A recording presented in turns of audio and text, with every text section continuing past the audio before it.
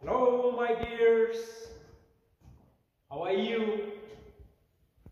Today I'm here to solve certain problems on behalf of a vector. Great. Number one says the resultant of a 4 and then a 6 a unit vectors is 10 units. Then we requested to find the resultant, I mean the angle between vector 4 and then vector 6. Great. Guys, to do such a problem, we have to use the cosine law. And now, let's be first, okay? And now, let vector A is 4 units vector B is 6 units. And then the resultant of vector A and the vector B is given as 10 units. Let B R of AB is, is 10 units. Great. So we requested to find, I mean to find, okay, the angle between the two vectors. To do so, as what I said, we have to use a cosine law. We have to use, we have to use a cosine law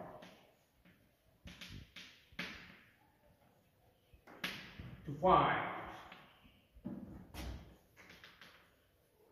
the angle between them. Great. Now look. R of AB, the whole square, which is equal to square of vector A plus square of vector B plus twice of square of AB, then cosine of theta. We don't know the exact value of vector A. Our main emphasis upon the value of vector A. I mean the value of vector of theta. I mean angle theta. Therefore now what we have to do, we have already the resultant vector AB is given. The vector A is given. Vector B is given. So the only thing is substituting or inserting in terms of vector A, B, and then resultant vector AB. So already R of AB is given, that is n unit. n unit. A is given, which is 4 unit. And then scale it. And then B is given, that is 6, and then scale it. Plus AB, that is, A is 4 unit, B is 6 unit. 4 times 6 is definitely 24. 24 times 2, it becomes 48. Okay, scale of units. And then cosine of theta. Great.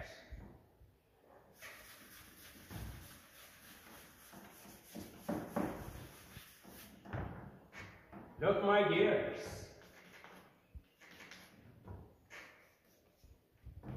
While we scale 10 unit, it becomes 100 scale, and then this becomes 16 a scale, and then this becomes 36 scale of u plus 48 scale of u and then cosine of theta. Correct? Is 16 square of unit plus 36 square of u, it becomes 52 square of u. 100 square of u is equal to 52 square of u. And then plus 48 square of u cosine of theta have to do now? We have to collect the like terms. And then 100 square of u minus 52 square of u which is equal to 48 square of u cosine of theta. 100 square of u minus 50 100 square of u minus 52 square of u becomes 48 square of u. 48 square of u, which is equal, as you see, 48 square of u cosine of theta. Now, what we have to do next?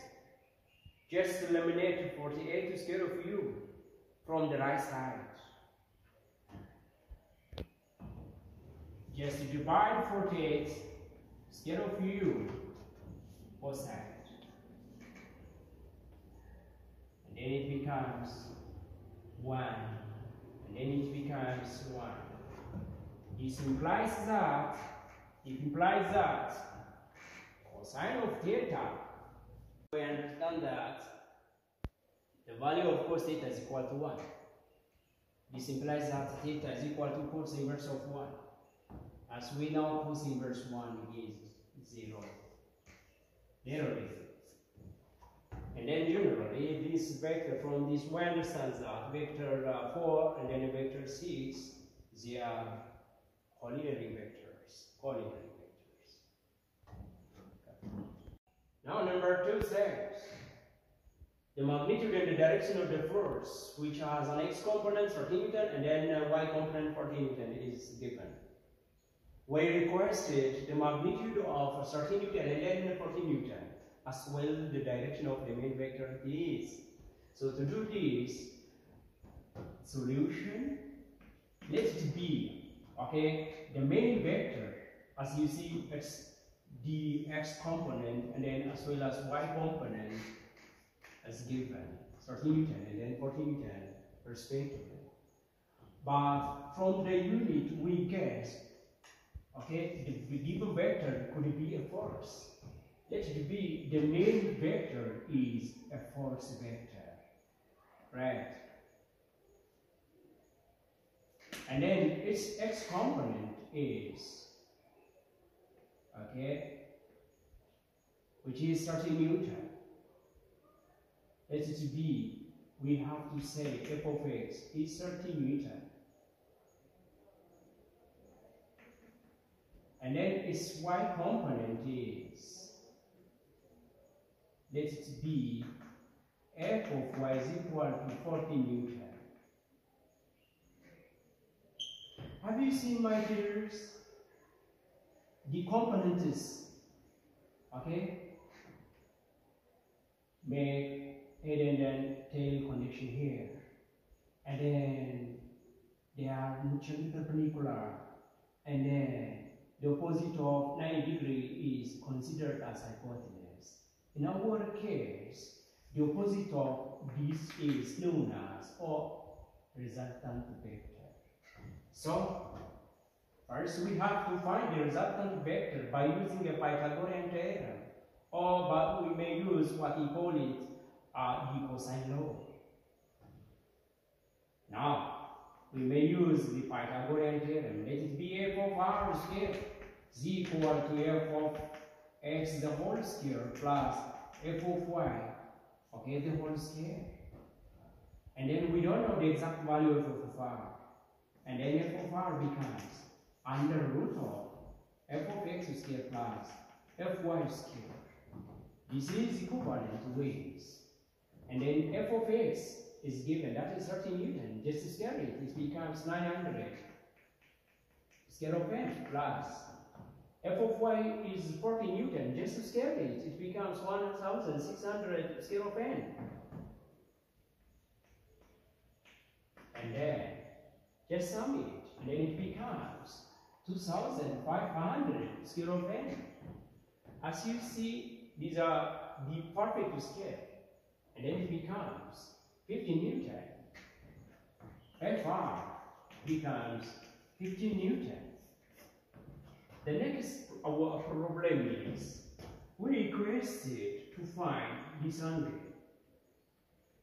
The angle of inclination of the main vector from the positive x-axis. Let it be alpha. To find the value of alpha,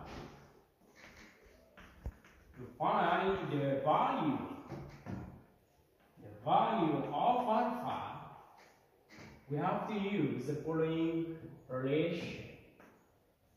We have to use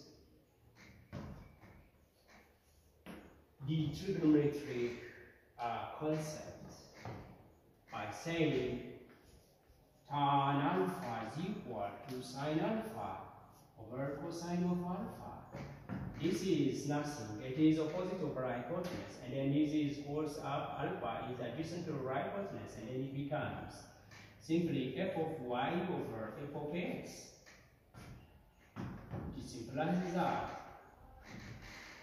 tan alpha becomes simply f of y over f of x. Alpha becomes tan inverse of f of y over f of x.